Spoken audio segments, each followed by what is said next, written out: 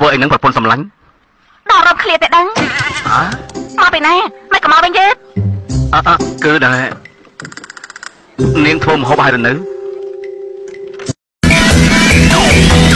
ឃើញមុខនាងពេដាញ័រអស់ទាំងបេះដូងត្មង